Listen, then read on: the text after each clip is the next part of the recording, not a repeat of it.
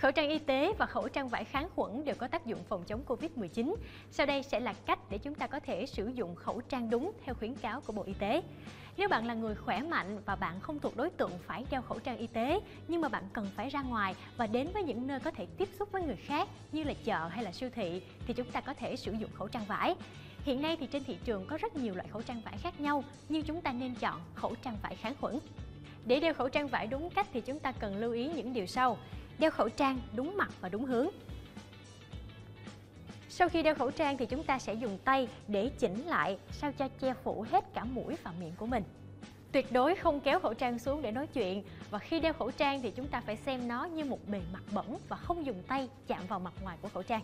Một điều mà mọi người hay quên nữa là chúng ta phải tháo khẩu trang đúng cách. Để tháo khẩu trang, chúng ta sẽ dùng hai tay của mình.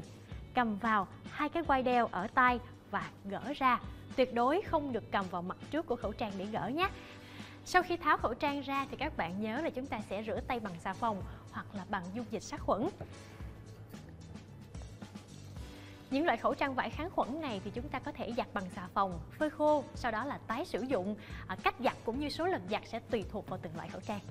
Ngoài khẩu trang vải kháng khuẩn thì còn có một loại khẩu trang nữa đó là khẩu trang y tế.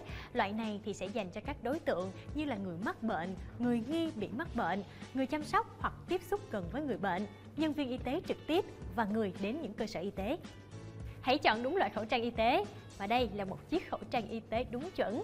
Với một chiếc khẩu trang y tế đúng chuẩn thì mở mặt ngoài sẽ là màu xanh hoặc là màu đen. Đây là lớp chống thấm. Ở mặt trong sẽ là màu trắng, màu xanh hoặc là màu đen nhạt. Đây là lớp thấm nước. Khi mà bạn ho vào thì lớp này sẽ thấm hết những chất bẩn. Do đó chúng ta hãy đeo mặt trắng này vào bên trong và mặt xanh hoặc là mặt đen nằm phía bên ngoài. Với khẩu trang y tế thì chúng ta sẽ có một thanh nhôm cứng và dày.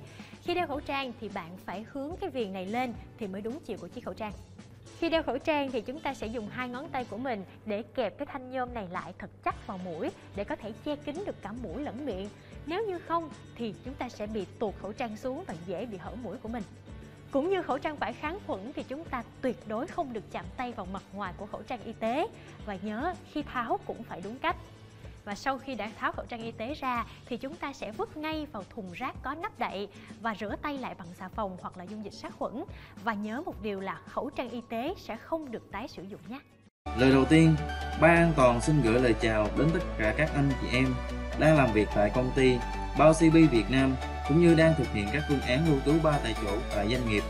Hôm nay, Ban An toàn gửi đến các anh chị một video này nhằm mục đích để hướng dẫn và thông báo đến các anh chị em một cách nhìn nhận và đánh giá mức độ nguy hiểm lây nhiễm Covid-19 ngoài cộng đồng vẫn còn đang lây nhiễm rất cao thì thành phố Biên Hòa đang nằm trong vùng lây nhiễm rất cao, hiện tại đang nằm trong vùng màu đỏ.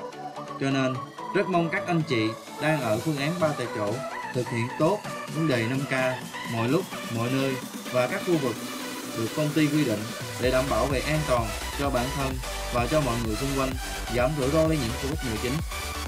Và hiện tại, công ty đã đưa ra một số quy định và các biện pháp nhằm để kiểm soát nghiêm ngặt vấn đề 5K để mọi người thực hiện như sau.